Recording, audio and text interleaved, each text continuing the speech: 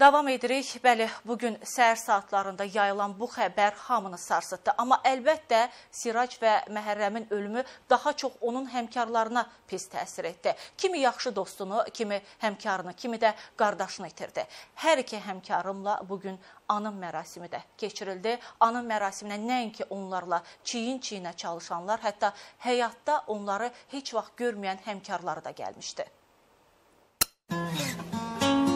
Mən çəkdiyim o kadrlarda 1 milyon məcburi köçünün hissini yaşaya-yaşaya çəkirəm.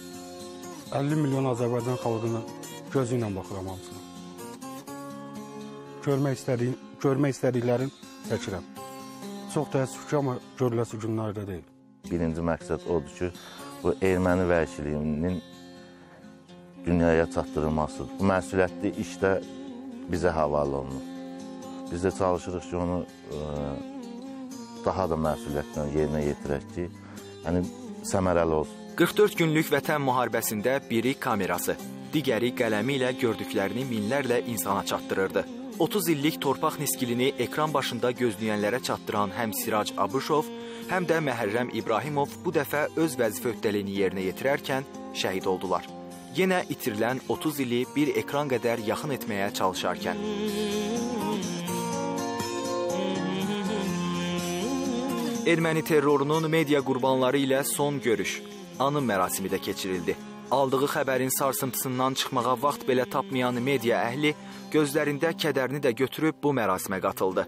Nəinki birlikdə işlədikləri iş yoldaşları, kamerasını çiyninə, mikrofonunu əlinə alarkən salamlaşan media əhlinin böyük sarsıntısı gözlərində gizlənən kədər, üzlərindəki hüzün ifadəsində özünü göstərdi.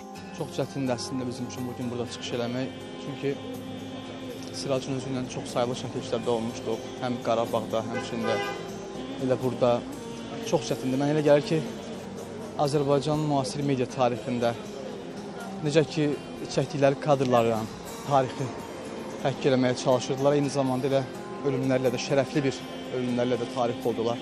Bu xəbəri səhər e, tezdən, yəni biz eşidəndən həqiqətən də çox pis olduq və hər iki həmkarımızla çəkilişlərdə çox olmuşduq və insan olaraq çox yaxşı insanlar idi və bilmirəm, yəni fikrimi e, necə ifadə eləməyi də bilmirəm.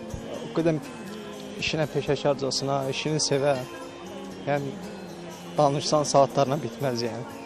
Onlar bir mənalı olaraq mən deyə bilərəm ki, şəhidlik zirvəsinə ucaldılar. Həmvətən uğrunda həm də ki, peşə borcunu yerinə yetirərkən onlar həlak oldular. Dünyada müxtəlif olan jurnalist təşkilatları, dünya beynəlxalq qurumlar bu cinayətə susmalı deyillər. Çünki söhbət jurnalistikaya qarşı təzyiqdən gedir, insaniyyətə qarşı cinayətdən gedir. Qeyd edək ki, xidməti vəzifələrini yerinə yetirərkən həlak olan Məhərrəm İbrahimov və Sirac Abışova şəhid statusu verilib. Faiq Kərimoğlu, İlham Hikmətoğlu, ARB xəbər.